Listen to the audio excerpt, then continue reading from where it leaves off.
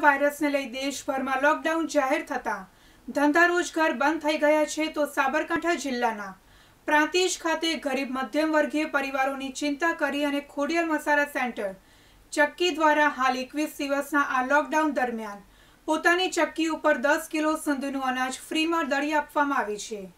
Corona વાયરસને લઈ સેવા આપતી સંસ્થાઓનું અનાજ પણ ફ્રીમાં દળી આપવામાં આવે છે.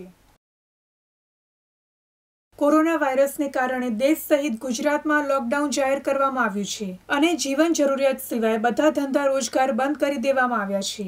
ત્યારે હાલ પ્રાંતિજ સહિત તાલુકામાં વિવિધ સંસ્થાઓ કે ગ્રુપો દ્વારા ભોજન સેવા સહિત કરિયાણાની કીટો આપવામાં આવે છે તો એક વર્ગ એવો પણ છે કે આવા કપરા સમયમાં મૂળ કિંમત કરતા કેટલાક વેપારીઓ ત્રણ ગણો ભાવ લેતા નજરે પડ્યા છે. ત્યારે તંત્ર પણ હાલ તો લાચાર બન્યું છે. તો બીજી બાજુ, એક સામાન્ય વેપારી દ્વારા આવા કપરા સમયમાં પોતાનાથી બનતી કંઈક સેવાનો પોતાને લાભ મળી રહે તે હેતુથી Prantij bus station doctor Baba Saheb Ambedkar complex ખાતે આવેલા ખોડિયાર મસાલા સેન્ટરના મુન્નાભાઈ પટેલ કે જેઓ પોતાની અનાજ દળવાની ચક્કી ઉપર લોકડાઉનના એકવીસ દિવસ દરમિયાન પોતાની ચક્કી ઉપર અનાજ દળાવવા માટે આવે તો તેવા લોકોને તે દસ રૂપિયા કિલોનું અનાજ ફ્રીમાં દળી આપે છે.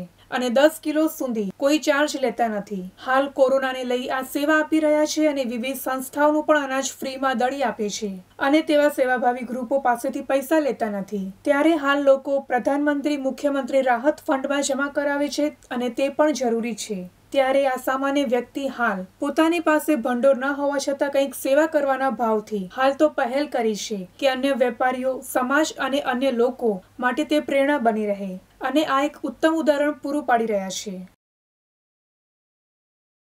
ખોડિયાર મસાલા સેન્ટરમાં મેં માનવ સેવા ચાલુ કરી છે.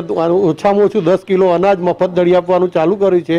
અને જે સામાજિક સંસ્થાઓ છે એમને બિલકુલ મફત જેટલું અનાજ હોય એટલું દળી આપવા માટે મેં સંસ્થા ચાલુ કરી છે.